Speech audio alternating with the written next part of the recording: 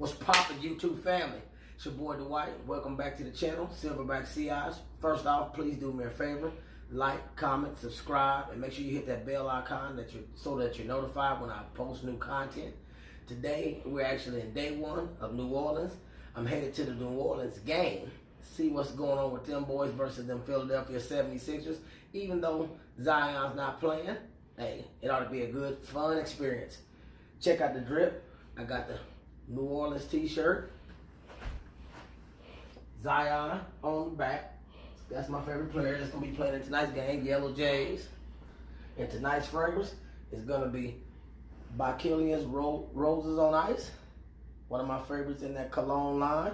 But we'll see how I do and how it performs on my skin. And we're going to go from there. Stay tuned, and I'll give you more of an update at a later time frame. Keep it locked.